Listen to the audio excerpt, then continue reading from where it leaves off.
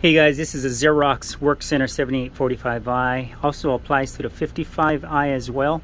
And if you're concerned about um, your machine um, carrying the data, whatever is stored in the machine, going on to the next client, or even if you're returning your Xerox and you want to clear the data, this is a way to clear out, fully, completely wipe out the disk, the hard disk in the machine itself.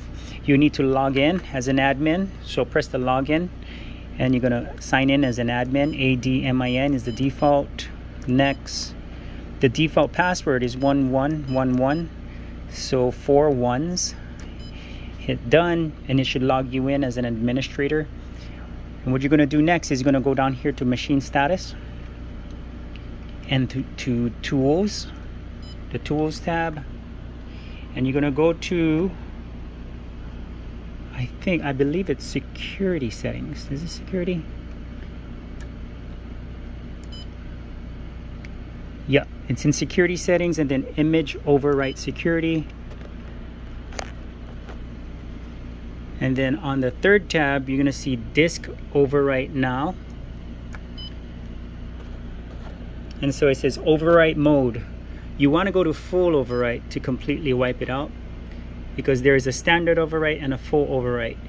Go to full overwrite and here it says full overwrite erases user stored data on the device.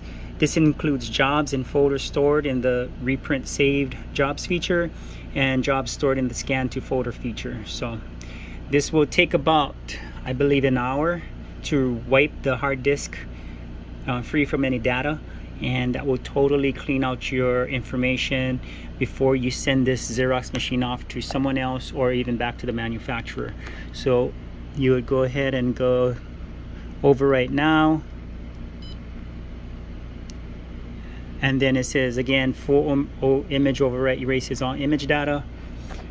And and just go ahead and click on overwrite now. I'm not gonna do it. I already did mine. So that's how you overwrite and clear out your hard disk data in your Xerox 7845, 7855 um, copiers. All right, have a good day.